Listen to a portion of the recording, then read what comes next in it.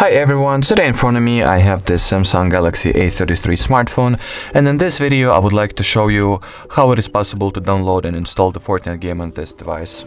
As we all know, the Fortnite is not available for neither for the download nor for the install at the Play Store, so in order to access it all you gotta do is open basically any search engine that you'd like. I'll choose the Google for it. Here I'll type in Fortnite APK uh, then you gotta look for the Epic Games official website. Go for it.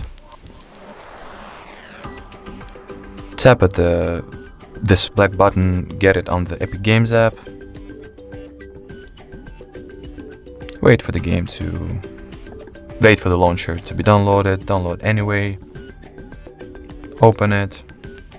And in prior of doing anything, we gotta grant the permission to install apps to the Google Chrome or to any uh, anything that we have uh, downloaded the Epic Games Launcher from, no matter what was it, Opera, default browser.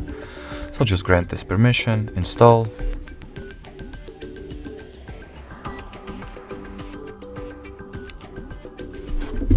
Open the Epic Games Launcher. Here, oh, you gotta click get in front of a Fortnite, install, wait for the game launcher itself to get downloaded and installed. It will not take a lot of time, so we'll just wait. Alright, now we can just go ahead and launch the game itself.